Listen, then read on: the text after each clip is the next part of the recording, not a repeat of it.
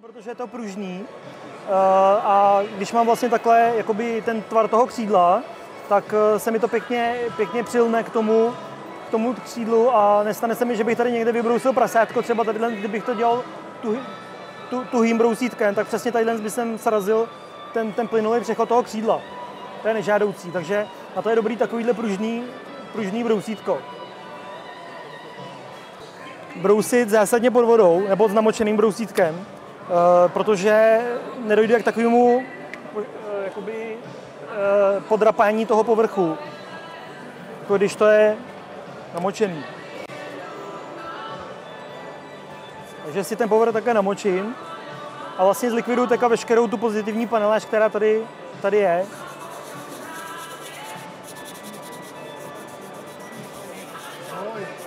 Bezvadný na, bezvadný na, na, ty, na, na těch brousítkách je, že pokud tady dnes mám takovýhle vystouplý pozitivní detaily, který tam musím nechat, tady je ta boule nad tím podvozkovým, podvozkovou šachtou a výstohy nad podvozkovou šachtou, tak já to tím brousítkem nezničím.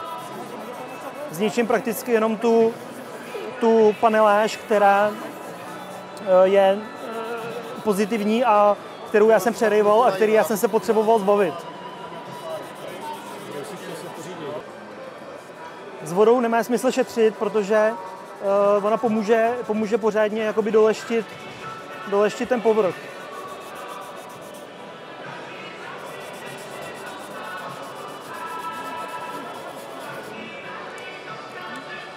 Tak.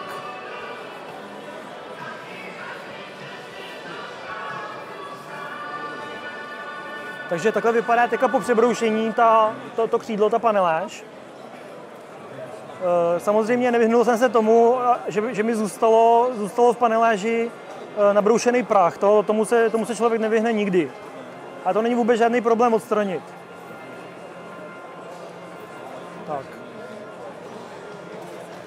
Já mám takový pěkný starý kartáčky na zuby, kterým vlastně ten povrch potom takhle celkově vykartáčuju. Vždycky, když mám, když mám tu linku té paneláže, tak vždycky podélně ji musím, musím vykartáčovat, aby z toho dostal veškerý, veškerý přebytečný bordel. Tak, stejně tak, stejně tak eh, ty příšní spáry.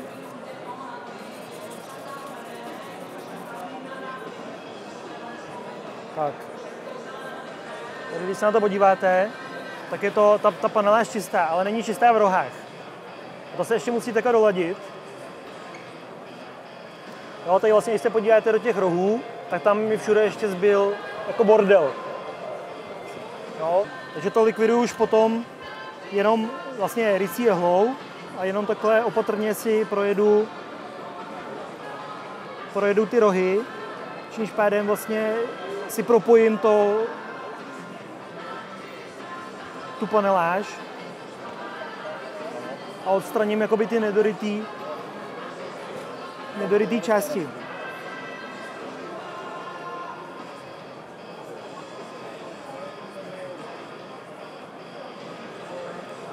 Tak.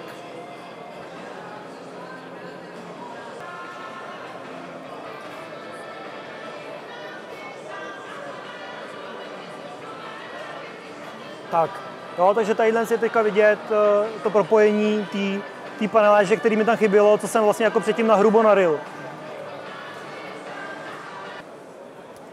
Tak.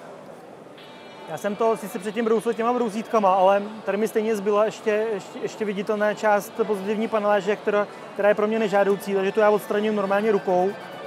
Kde mám taky, v podstatě taky jistotu, že, že se zbavím jenom toho pozitivního rytí a že, že tam neudělám, jak jsem říkal, tu, tu plochu, pokud bych to brousil brousítkem, který budu mít nalepen třeba na destičce, jako tuhým brousítkem.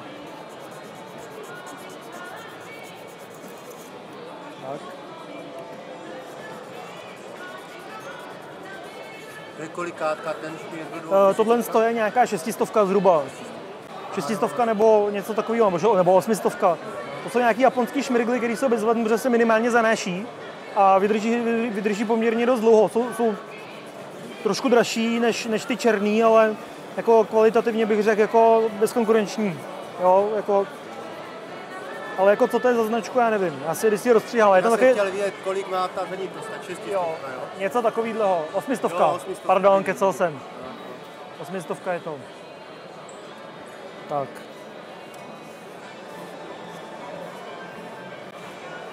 Tak, teďka se potřebuji přes- přesvědčit, že opravdu všechna ta paneláž je pryč, že to je úplně čistý, ale vidím, že není, takže to ještě obrousím.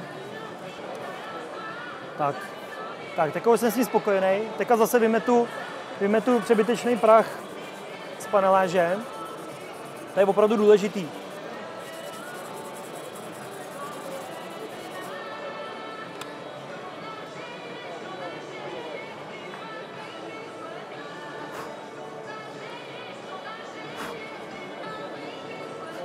Tak, finální krok při nejtování používám Tamiya Extra Thin Cement. Je to tekutý lepidlo, eh, kterým vlastně jakoby zostřím tu paneláž a vyčistím veškerý, veškerý zbývající prach, který se mi nepodařilo vymést kartáčkem. Nanáším to také štětcem. Bezvadný je, že když se to lepidlo nanáší takovýmhle štětcem, tak eh, ono to v tom štětci nezatvrdne. A když ho pak znova používám, tak ono také promnu mezi prstama je zase, je zase čistý. Ono to ten štětec jakoby ne, neúcpe, jak by se řeklo. Jo? Neslepý. neslepý.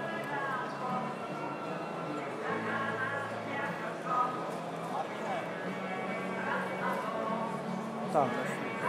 Toho lepidla je potřeba dávat jenom drobet, protože když toho lepidla do té paneláže nanesu moc, tak ono mi to úplně sežere hranu toho, té paneláže a vlastně mi to jakoby udělá tu, tu paneláž křivou, což je taky nežádoucí, takže jak říkám, opravdu zlehka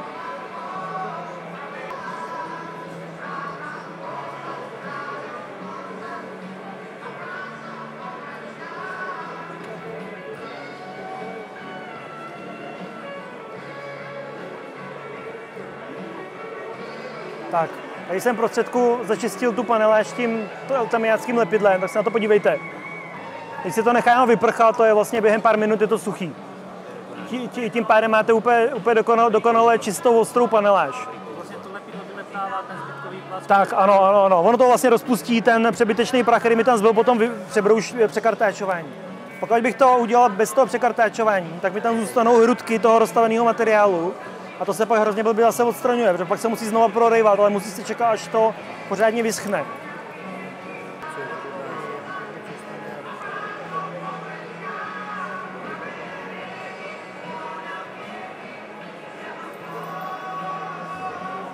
Tak, eh, chtěl bych ještě upozornit, že pokud bych takhle přeryl model a nechal by jsem eh, tu paneláž takhle začištěnou tím lepidlem a teďka by jsem na to rovnou nastříkal barvu, tak přesně kolem celý paneláže bude vidět takhle ten, jakoby, ten lem po tom lepidle, jo. A tohleto, tohleto odstraníte tím, že když to potom celý přestříkáte stříkacím tmelem, například Surfacerem nebo něčím takovýmhle, a znova to rozleštíte dvoutisícovkou šmirglem, tak už vám vlastně z té paneláže to bude stačit opravdu jenom vykartáčovat, protože už vám tam nezůstane žádný žádný bordel, protože už je uzavřená ta spára tím lepidlem. Ten Surfacer už nezanese to Ne, rytí. ne, ne, ne, ne, nezanese, protože teďka vlastně je začištěná úplně ta spára, není tam žádný vlastně přebytečný, přebytečný prach a e, vlastně mám to, mám, mám to perfektně ostrý. Je to důležitý pro budoucí zapouštění, zapouštění vlastně olejů jakoby do té do, do paneláže. Se prostě to srovnat odcepne, ne? Ano, Těch ano, ano. je teda několik servisností, vy to stříkáte tuhle tu vrstvu. Tisícovkou. Tisícovkou. Tisícovkou, pětistovka je ideální nechat, eh, nechat nějakou dobu jakoby stuhnout a potom naneš štětcem, jo, jakoby, eh, když potřebuji nějaký lokální, lokální drobný tmelení. Jo, ale uh, chtěl bych upozornit, že když to pak přestříkáte, tyhle ty vytmelený místa tou pětistovkou Surfacerem a přestříkáte to plošně třeba tisícovkou, tak ředidlo uh, vlastně v tom Surfaceru 1000 vám naruší i tohle, tam může se vám to propadnout. Takže to moc nedoporučuji jakoby v ploše někde dělat. To, je vidět. Spíš jenom třeba, já nevím, když vám ujede, ujede rydlo tadyhle někde, tak jenom prostě si ťuknout třeba ty rohy. Jo, ale, ale určitě ne někde, když bych měl propadlinu tady v ploše. Jo, protože ten plný přestříkání to oživí. Eh, Já bych teďka předvedl nějaký, nějaký takový uh, radosti, co se, dají, co se dají ještě jako na vylepšení povrchu. Tohle to jsou kornejsny, je to takový uh, výrobek, který používají uh, zlatníci. Oni si dělají takový různý kruhový, kruhový jakoby nejty, nebo já nevím, já neumím popsat tu techniku, teda, na co oni to používají. Eh, Tyhle, tohle vypadá to jako průbojníky, ale vlastně není to špičatý, ale na, na vrchu jsou žlábky. Eh, Těma žlábkama se dají dělat krásně rychlošrouby, dají se tím dělat v podstatě i nejty, třeba u větších měřítek u 32, ale musí samozřejmě po jednom.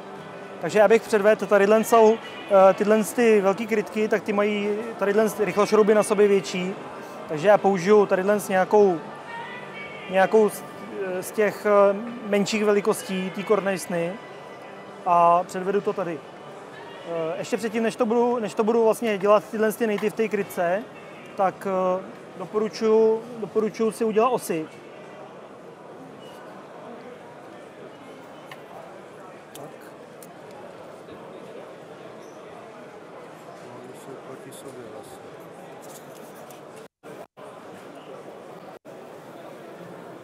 Jo, takže tadyhle jsem si vlastně připravil jakoby na šest těch, šest těch uh, rychlošroubů jsem si připravil, připravil osy, abych je měl víceméně tak jako přesně rozdělený. Tak. V podstatě tu kornejsnu jakoby takhle, takhle jakoby do, do kruhu, do kruhu obědu.